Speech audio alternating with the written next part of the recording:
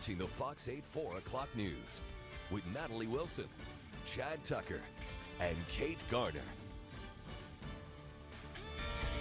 Hurricane Harvey has grown to a Category 3 hurricane. This means now wind speeds could reach up to 120 miles per hour. This is a live look from Galveston, Texas. The rain already there.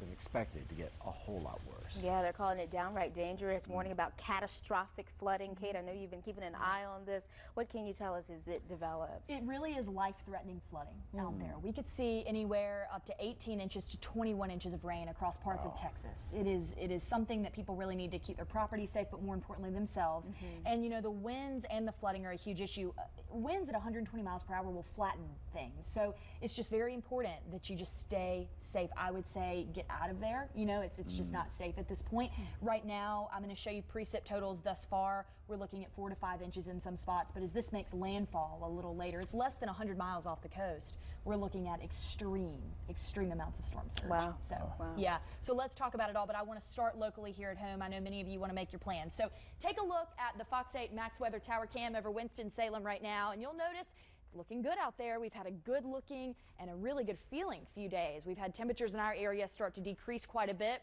That will continue into this weekend, and I'm going to let you know when rain chances occur back home again. But we have been dry today. So, as far as temperatures are concerned, 80 in Mocksville along with Yadkinville, 82 in Winston-Salem, 83 in Greensboro this afternoon, 84 in High Point, and 82 degrees in Asheboro. So it's warm but it's actually cooler than the temperatures that we've had over the last few weeks. Over the next two days, take a look. We had the system go through, and as it did, it took a lot of moisture with it.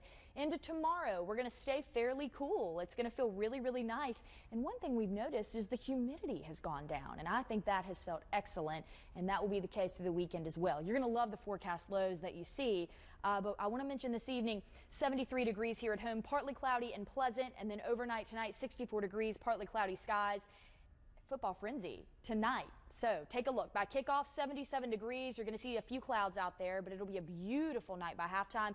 Feels great at 73 degrees. And then for your drive home, 70 degrees out there. All right, let's talk tropics now. We talked a little bit about it while we were on the couch a second ago, but I want to make sure that you are fully informed of exactly what's going on. So we're looking at a category three hurricane now.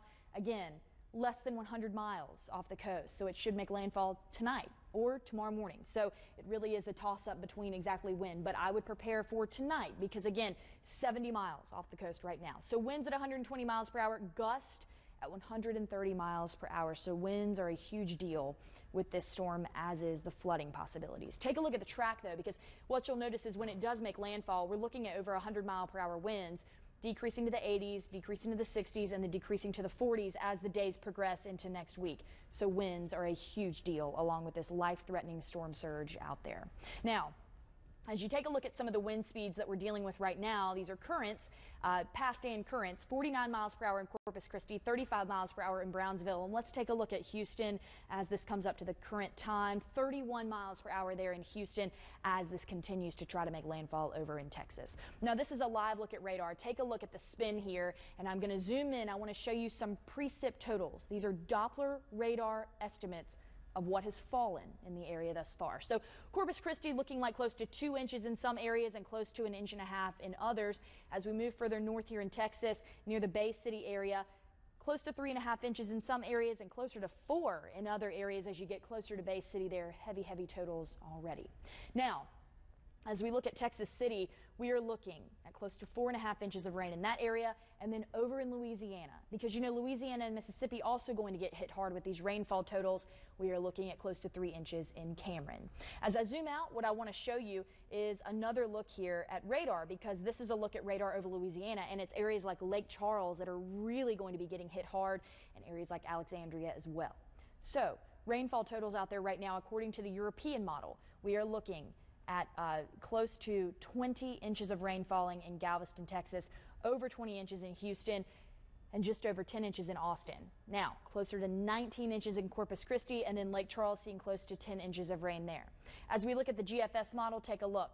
21 plus inches in Houston, close to 13 inches of rain in Austin when this is said and done, and close to 15 inches in Galveston. Corpus Christi looking at close to 16 inches there. So as you take another look at these rainfall totals, I want to go back to the European model for a second because as you look at these, they do compare quite nicely. We know we're going to have rainfall totals in the teens over the next few days. This is rain that could be life threatening. I cannot stress that enough, and we've been talking about it. So let's jump back over to the GFS model quickly.